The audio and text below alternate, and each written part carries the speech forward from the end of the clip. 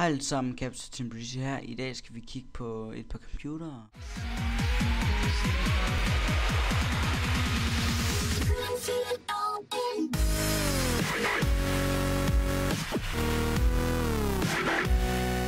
Og i dagens anledning skal I hjælpe mig. Øhm, ja. Øhm, som I kan se, så har vi to computere her, og jeg skal vælge, hvilken en af dem, at øh, jeg skal købe. Ja, eller min far skal købe til mig. Øh, ja, godt nok, men øh, ja, lad os starte med MM Vision, og det er den, der hedder Game Plus, I skal kigge på, og det er den, I finder her under øh, computer inde på MM Vision mm-vision.dk så kan I, finder I den her øhm, ja lad os bare gå til specsene for den her video ikke skal blive for lang.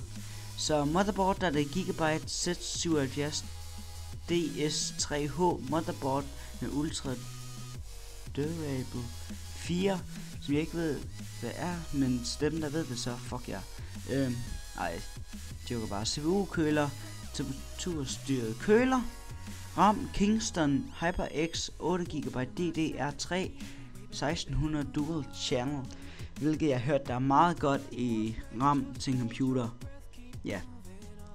Harddisk 1, der er det en Samsung 800, 840 120 GB SSD Solid State Disk, og den kan opgraderes. Øhm, det behøver jeg ikke. Jeg har harddisk her, som jeg bare kan proppe ind, hvis det er. Øhm, ja. Så det vil vi ikke bruge mere tid på. Øh, ja. Grafik, den er meget vigtig.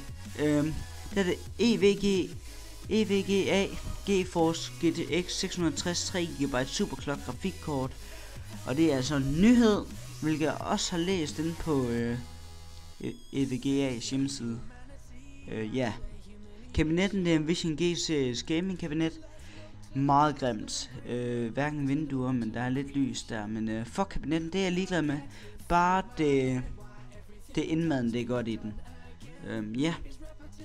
Øh, strømforsyning, det er en Raid Max RX 600 AF strømforsyning, Super Silent 16 dB, 80 plus bronze certified.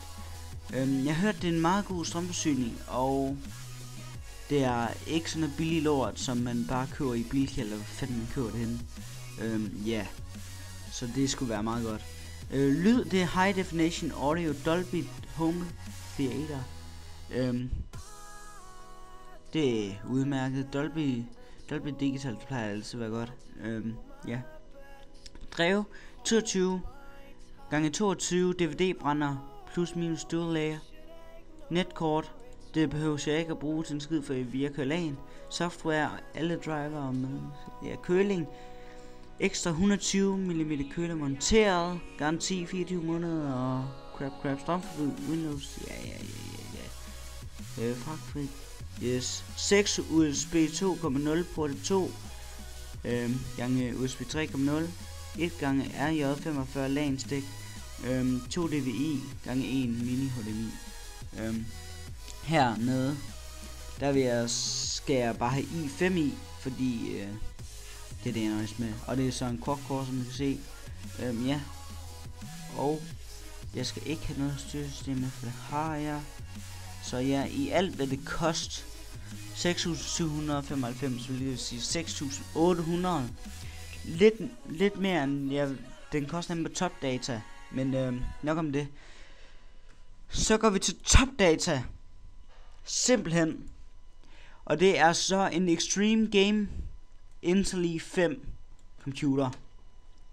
Og der er specsene Intel i5 3570 3,4 GHz CPU, Evil Bridge, Turbo 3,8 GHz. Og så her der er det et Asus kvalitetsbundet kort B75 USB 3 SATA 6G PCIe og 3,0. Meget godt. Lige hvad jeg har brug for. Okay, der er harddisken 500 GB harddisk, 7200 RPM SATA 6G, hvilket er en meget hurtig harddisk. 8 GB DDR3 1600 MHz HyperX Kingston kvalitetskamera RAM. Det var også det, der var i øh, den der MM Vision Computer, så um, meget fint er det jo. Her der er brænderen lidt bedre, det er en, 4, en gang 24 dual layer DVD brænder X-Asus. Gamer kabinet Cooler Master øh, med vindue øh, K350. Det er som I kan se på billedet lige der. Det er den kabinet der kommer med. Øh, må noget vi til optimalt airflow op til 5 blæser og strømforsyning i bund og så videre. Det ved jeg sgu heller ikke være. 550 watts XFX 80 Certified Kvalitets PSU af Seasonic. Øhm, har jeg også hørt, der er rigtig godt og mega god kvalitet, god kvalitet og sådan noget, så det burde der ikke være noget problemer der. Og et eller andet fire dim-sokler op til, Nå, det, det der RAM-sokler, der kan være 32 GB RAM i, i den her computer. Og så er det et 8 kanals lydkort surround sound, hvilket er very nice. Og så 6 styk USB på det, 2 på front, både 3 foran og bagpå. Netkort har jeg ikke på. Temperaturstyret CPU køler. Øhm, øhm, ja. Øhm, I kan, den koster så 6.000. I kan skrive ned i kommentaren, hvilken en I synes, jeg skulle have. Øhm, ja, og I kan også øh, sende flere idéer til, hvilken andre computer jeg skal købe. Og budgettet ligger omkring øh, 6 til 7.000. Tak fordi I så med alle sammen. Kæmpe tak af. Hej.